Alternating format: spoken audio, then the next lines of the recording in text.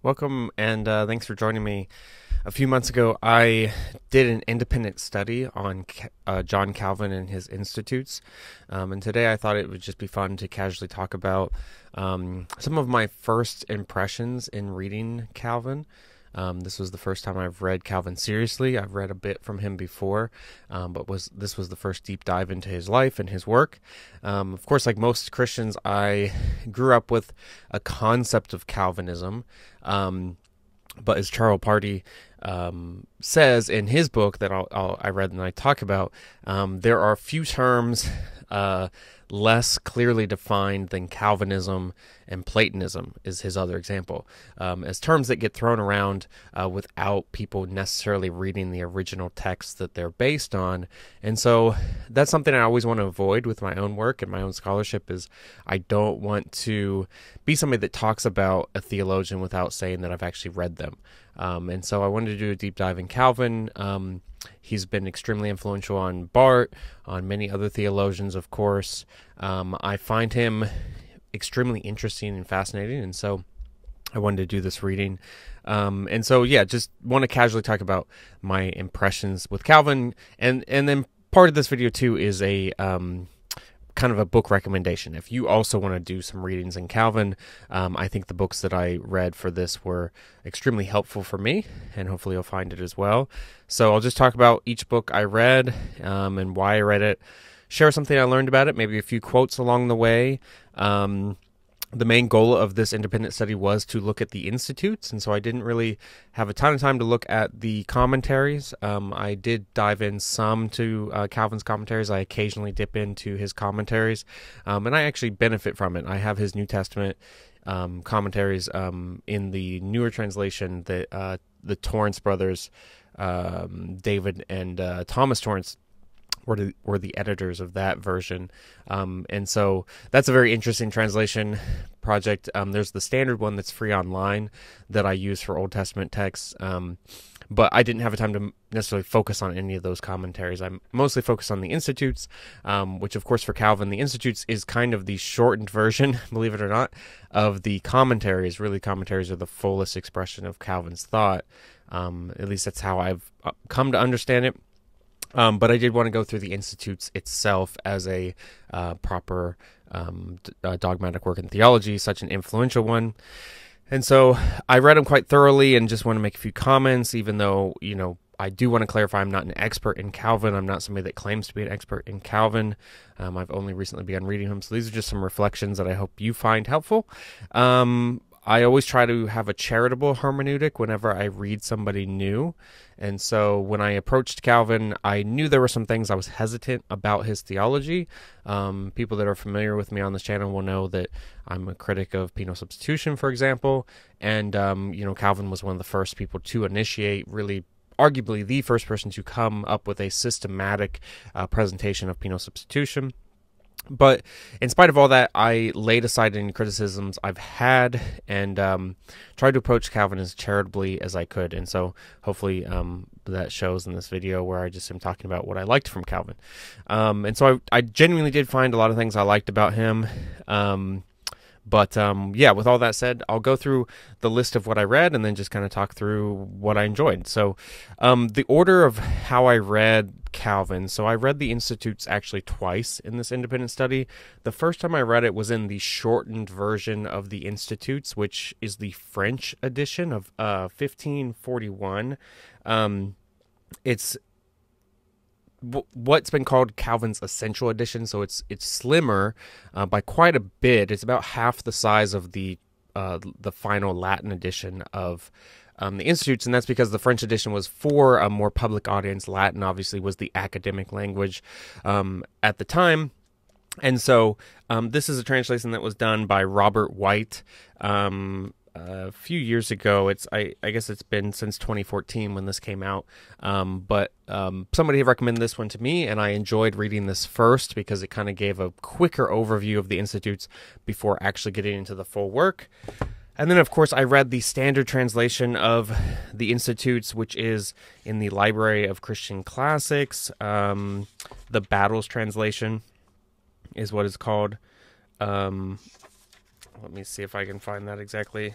yeah, the Ford Lewis Battles translation is what that's called, and um, it's ed- edited by John McNeill. There's some really helpful footnotes in here, and so this is the two volume classic from the Latin uh, text, and so I read both of those first. Um, I then dived into Calvin's. Um, excuse me. I then dived into uh, this biography of Calvin, which I found very helpful. A friend recommended this to me. Um, he said his supervisor recommended it to him, um, and so um, it, it, was a really humanizing book. I'll, I'll, talk about it in a minute, but it's it it was a good book on Calvin. It's a newer biography, um, from what I understand, relatively new biography. Um, I guess 2009, so not quite that new, but I found this really helpful for an overview of Calvin's life and really it, it look into Calvin as a person. Um, and then really the main secondary work I looked through was the Theology of John Calvin by Charles Partee. Partee's a definitely a Calvin scholar. He's he's well known. Um, as being a careful reader of uh, Calvin, this was a text that my professor recommended. Um, I really enjoyed this book a lot. I think this is probably the one stop book I would recommend um, even though I've not read any others, but I, I felt like this was a very good book to start with um, for just an overview of the Institutes, an overview of Calvin's theology, a very um, careful reading by somebody who's been working with Calvin for a very long time. And so this is the culmination of Partee's um, really lifelong long uh, mission of reading Calvin. And then the final book I read was kind of a um, very interesting one for me. Roland Boer is a scholar that I really enjoy uh, for a lot of reasons. He's he's done a lot of political theology. He's done a lot of Marxism, a lot of um, historical Christian theology. Um, but this is his wrestling with Calvin's politics, and I'll talk about um, kind of his arguments and stuff. But I really enjoyed this book as well, and so those are the books I'm going to talk about. Um, and kind of what I enjoyed from each of those. What I want to do first is to begin with the secondary text before I actually get to the institutes, even though I read it the other way around. And so let's go back to the biography. Um, this biography of Calvin, like I said, was very humanizing of Calvin. I think Calvin gets kind of this bad reputation as being this cold figure who was kind of a um, killjoy, but this really humanized him. And it, you know, some of the stories about him losing his firstborn um, and the effect that had on him was such a quite a moving uh, account to read. And so I very much enjoyed how uh, this author, um, Selder House, Selder, Selder House, I don't know how to say it. I think it's Dutch. Uh, he is a, uh, yeah, he's a Dutch theologian. Um, really did a great job of making a readable book, a book that really emphasized, as the subtitle says, uh, Calvin as a pilgrim. I thought that was a very good way of putting it, and kind of shows Calvin's own um, kind of um, not only just his uh, pitfalls as a human being, but his just vulnerability as a human being, and, and he isn't this tyrannical figure. And um, the author did ex- an especially good job with the um, Michael Servetus account and, and that whole issue of uh, a heretic burned at the stake um, and Calvin's role in that um, event. And so I, I thought that was helpful for that. That's been one of the historical things that's typically lodged at Calvin as a critique against him that he, you know, was this tyrannical master over Geneva, and therefore he he directly killed uh, this this heretical figure. And I I don't think that's an accurate um, understanding of that event. And so um, a better understanding is maybe found in this book. And so, like I said, it's uh, humanizing for uh, Calvin, I think, and I just thought it was a very good overview of Calvin's life. Um, definitely recommend this. I think theologically it does have some good stuff where it, it also dives into a little bit of Barth, um, Calvin's theology. And so, yeah, I definitely enjoyed that one. Um, I think as an intro, it was very good. Um, really, this was a the highlight of my readings. I, I really enjoyed this. I mean, the Boer text of the other two secondary books that weren't biographies. Um, this one, I think, was the most helpful for an overview of um, Calvin. This is uh, more specific to Calvin's politics, which I'll get to, but very much enjoyed this. And so, Partee's kind of central claim and argument here is that um, union with Christ is um, a central facet of Calvin's theology. He doesn't say that it is the the central facet of Calvin's theology. He's too multifaceted for that. Um, and so I'll just read this quote that I found important. Um, I'll just skip around. This is on page 27. Um, he says, Calvin is a systematic thinker, but not a system builder. His faith is based on the recognition that Jesus is Lord and we are united with him. Calvin's theology is grounded on Christian convictions, not philosophical or theological principles. His exposition is more confessional than argumentative, and while his use of reason is constant, his confidence in reason is not unwavering. I'll skip down a bit. Um, Calvin's theology is written for the faithful, not the logical. Calvin's theology is not designed to exercise the mental muscles of academically trained professionals, but to edify the Christian heart in the community of the faithful. To put the point briefly and sharply, Calvin is not a Calvinist because union with Christ is at the heart of his theology and not theirs. Um, and so this comes at the end of a section where um, Partee does a very interesting, very good job at locating himself as a scholar amongst you know the misrepresentations of Calvin, the uh, maybe overly conservative um, readings of Calvin and and whatnot. And so that argument I, I thought was convincing. I thought it was um, very um, well presented by Partee. He he does a lot in the book, so it's not just about that argument. There's a lot more of where he's trying to do a general overview. I think Partee's framework framing of the doctrine of election especially was helpful i thought that he um, kind of put it in a way where Partee accepted that there's problems with it um, both morally ethically theologically but also really tried to stress that we have to understand calvin charitably uh, on his own terms of what his goal was. And so, election, as we'll get into with um, with the institutes, election for Calvin is placed within uh, the context of the Christian life and prayer. And so, it's not the speculative doctrine and i think that's the other thing Partee mentions a lot that i i also picked up on in my reading from the institutes is calvin was very much anti-speculation and so that's something that's often missed with a lot of the discussion of his thought and so I enjoyed that with Partee. Um, his book was very good. Uh, the final book, this was um, Political Grace is the title of Roland Boer.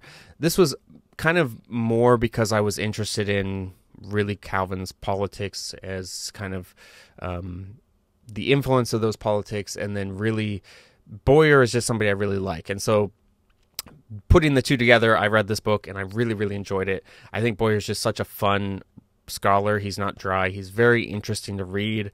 I think the way that he was able to mix um, academic writing with his own kind of biography was very important, powerful for this book. Um, the main argument of the book, I'll just summarize it. He he cites it right on the back.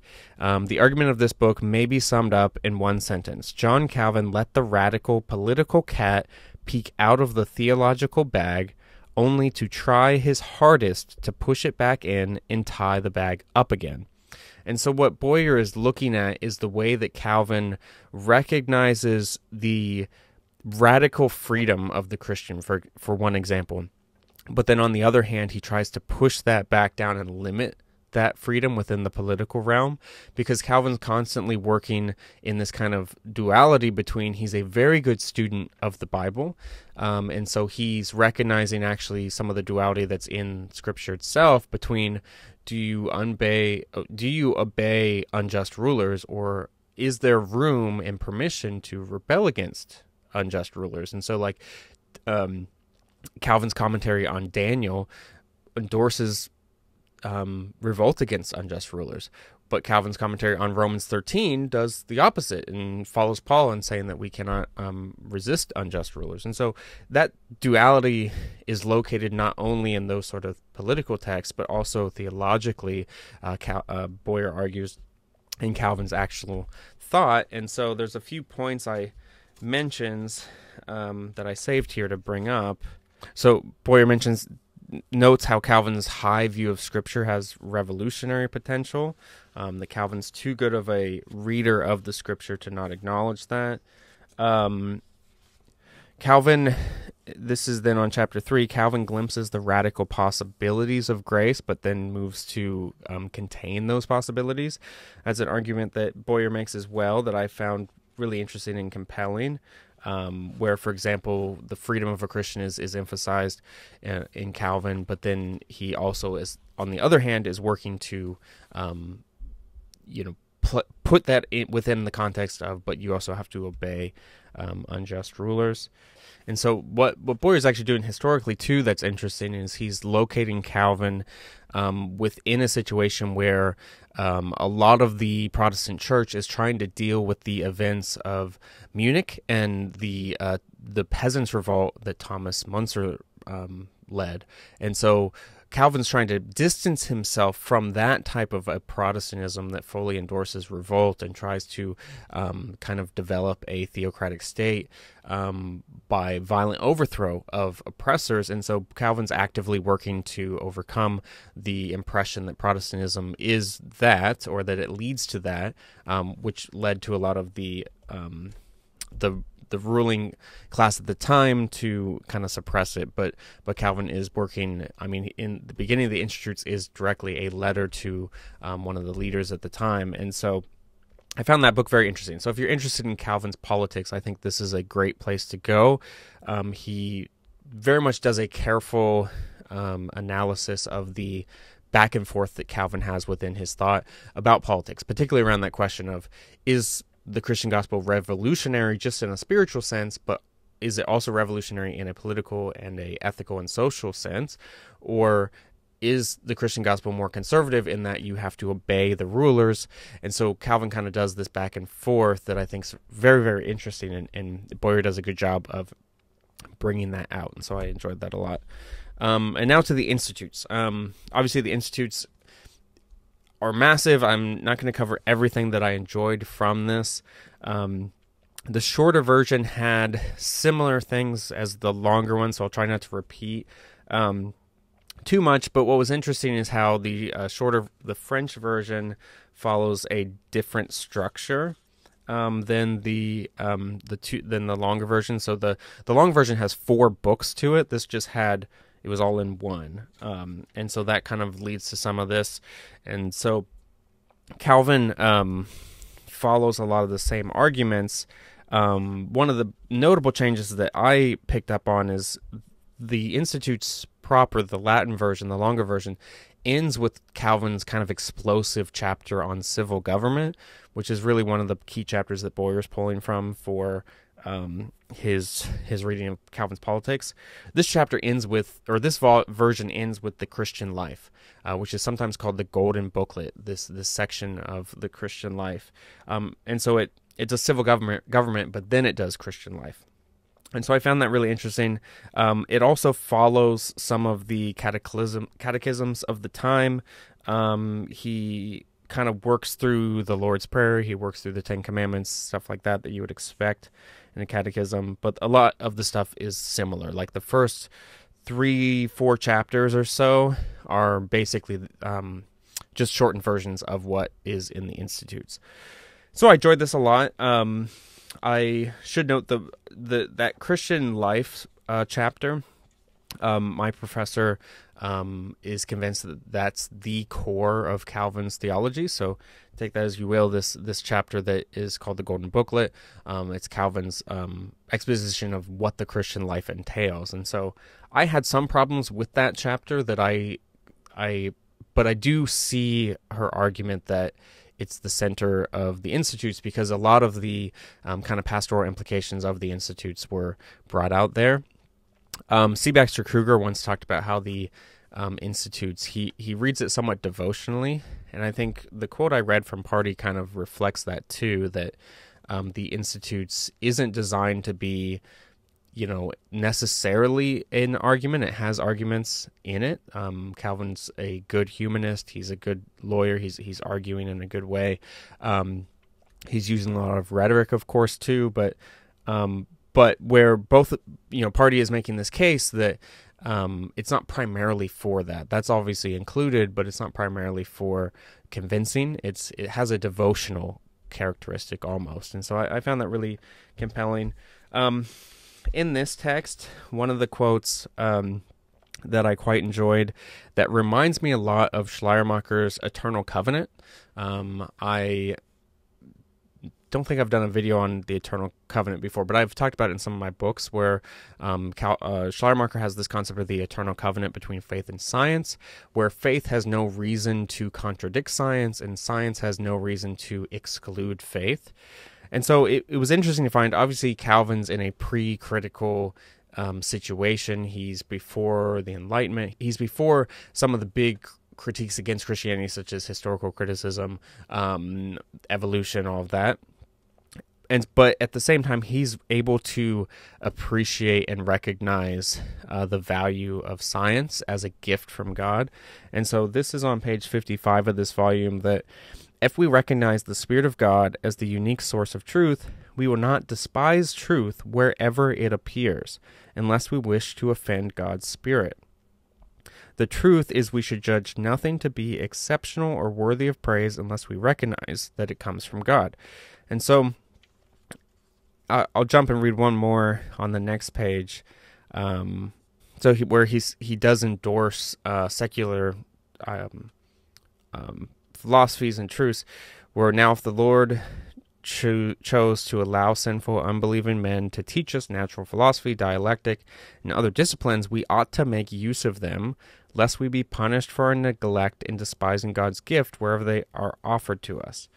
And so, I like that because it it I think a lot of the more traditional interpreters of Calvin, a lot of the more traditional um, readings of Calvin, place him kind of at odds with natural sciences and, and especially uh, you know along the questions of like evolution or questions of social biography or biology or things like that. But calvin seems to have this the space in his thought where he accepts the conclusions or at least accepts uh, the truths of science as um, God given, and that in despising those and despising critical research in, in into the you know scripture, for example, or any of that, um, we're despising uh, God's uh, gift.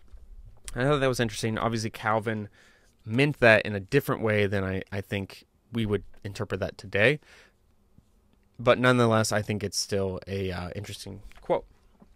Another one was in Calvin's exposition of the tenth commandment. Um, he makes this case that I, I made a note in the margin where I think this is kind of a um, critique of libertarian ideology, if anybody's familiar with that, um, where he says that whatever we may conceive, plan, wish, or pursue is inseparable from our neighbor's welfare and interests. And so, for me, I think that makes a clear distinction between a Christian uh, political and moral ethic and a libertarian ethic, which is a little bit more, um, well, libertarian. It, it's it's very much um, a free for all where I do what's best for me, not what's best for my neighbor. And Calvin returns to that um, later in the Christian life, where he says, uh, this is on page 796 everyone should recognize that whatever he has and is capable of doing is owed to his neighbor. There is no limit to his obligation to do good except his lack of capacity. Whoever far his capa- however far his capacity may extend, it should always answer to the rule of love. And so I really like that quote a lot. I think that connects really interestingly with uh, my book on the early church fathers and how there was this strong emphasis on the obligation to help the needy, that it wasn't some optional optional thing that you do out of the kindness of your own heart, but it was actually an obligation um, for the Christian. And so to see that repeated in Calvin, I, th- I thought was very interesting, particularly around how there's kind of this reformed libertarian movement that I, I think I'm critical of, and and it seems interesting that there's room to see a critique of that in Calvin, even though, of course, the libertarian ide- ideology is a little bit of a newer phenomenon. Um, and so, moving to the Latin edition of the Institutes, I have a little bit more notes to go through um, that I found stuff that I found really helpful. I would say overall that Calvin is a rewarding figure to read, even if you disagree with him. He's very he's a very engaging and rewarding figure, and so I, I very much enjoyed going through the institutes in this way, um, and especially this Latin version, which was a lot more thorough. Um, and I, I enjoyed it a lot. And so it's definitely a rewarding experience.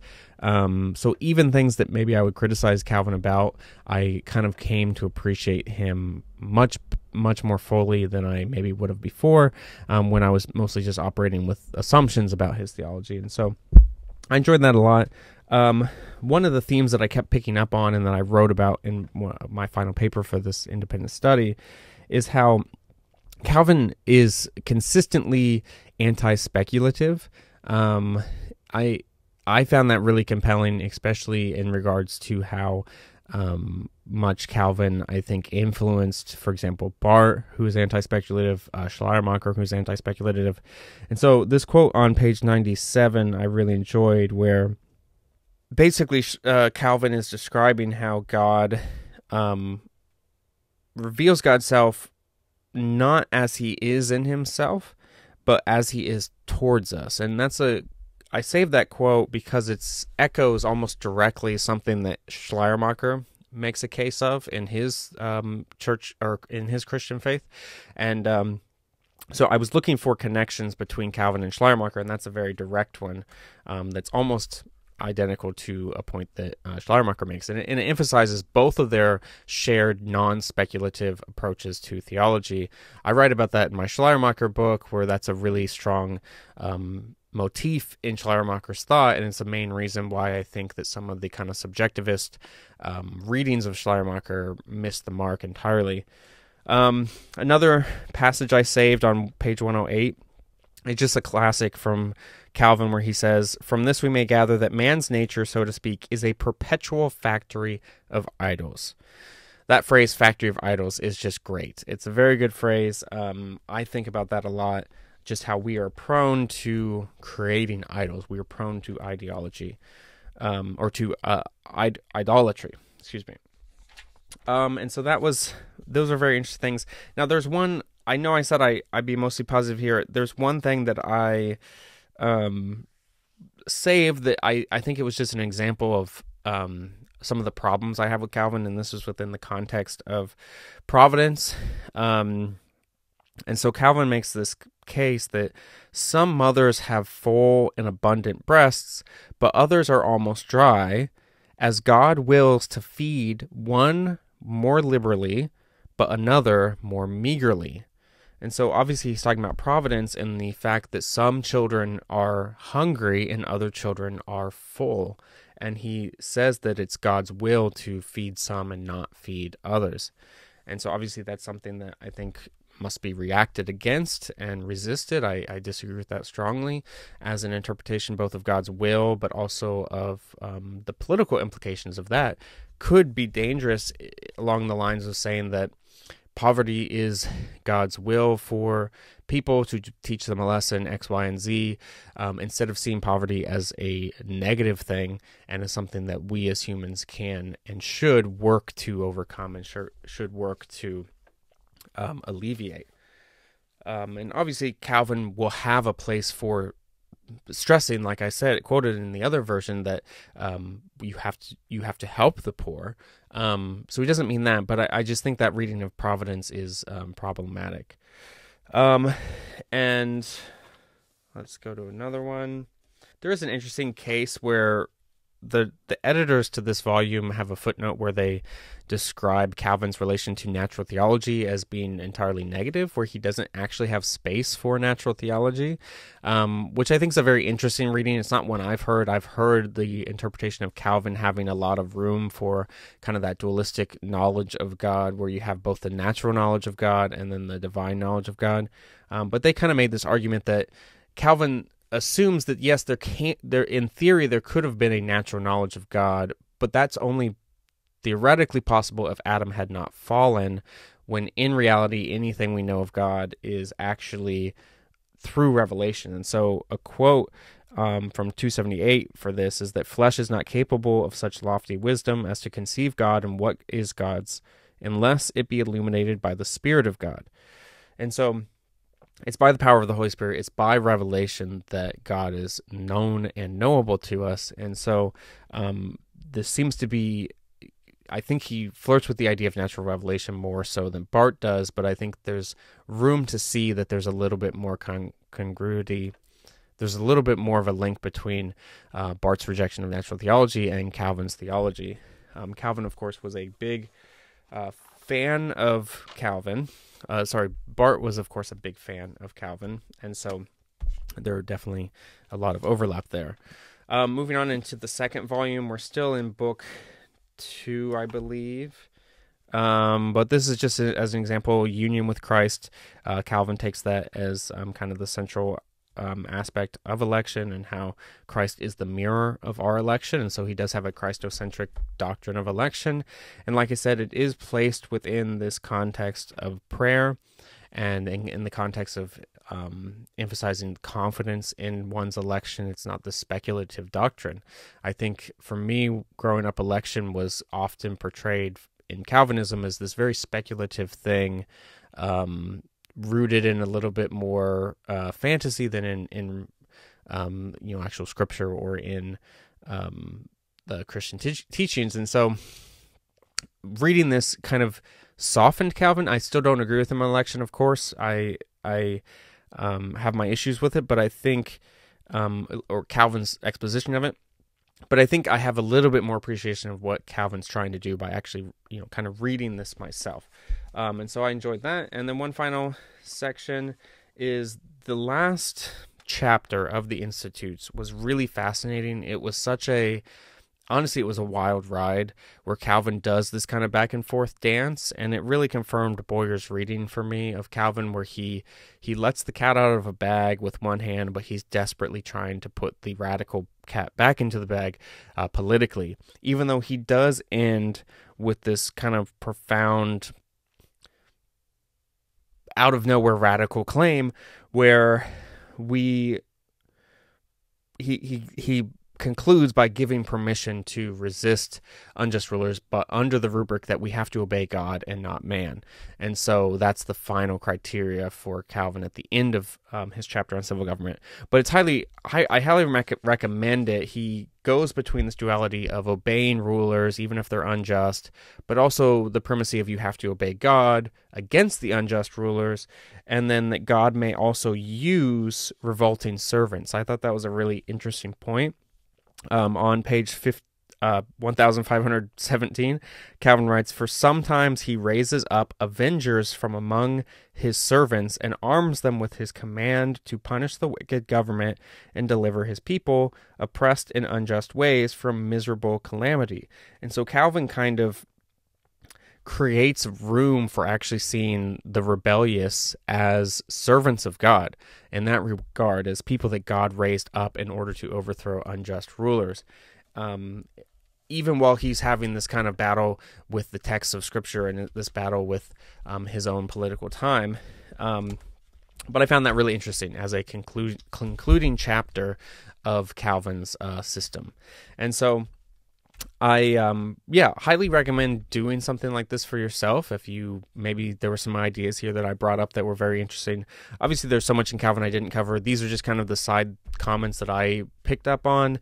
Um, his exposition of the threefold office of Christ is of course notable and something I really appreciate. Um, Christ is both prophet, priest, and king. Um, there's a lot more in his understanding of sacrament that I thought was interesting. Um, I'm not an expert in different sacraments, um, different concept of sacrament, but that was interesting. Um, his understanding of creation, his his short section on the Trinity was really fascinating. Just how short actually it was, and kind of um, minimalist, and um, so I found that really interesting as well. Um, but there's a lot here. Um, I liked Calvin. I think this is um, a someone that I want to return to more thoroughly, but hopefully this kind of just reflecting on Calvin and kind of what I learned. Um, I think I'm convinced at the moment by Partee's interpretation that the center of Calvin's theology is, um, if not the center, a central element in Calvin's theology is our union with Christ. And I think that paints Calvin in a different light than sometimes he's presented in this kind of cold, sterile uh, figure who's um, not quite as uh, devotional, but actually there's quite a lot of devotional qualities to Calvin. Um, and so I enjoyed that a lot. Um, I think Calvin's interesting I would recommend um, you check him out if you have an interest in Calvin. Um, I'll link all of these books below um, so that you can read them yourself. Um, I found them quite helpful. There's, of course, endless amount of books on Calvin. I've not yet read Barth's uh, lectures on Calvin, but that will be one of the books I read in the near future, and um, and all of that. And I look forward to that. And so, yeah, this is my little overview on Calvin. Um, like I said, I'm not an expert in Calvin. I've only read this somewhat small stack of Calvin, um, but I thoroughly enjoyed it. And um, I hope you enjoyed this video. So let me know if you have any questions or any comments below. But thank you so much for watching and have a great day.